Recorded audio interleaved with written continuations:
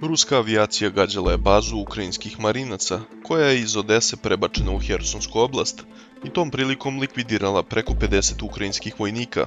izjavio je port parol ruske grupacije Dnjepar Andrej Ruljev. Također rekao je da je ruska artiljerija uništila i dve ukrajinske minobacačke jedinice, koje su se nalazile u naseljima Beregovo i Nikoljsko,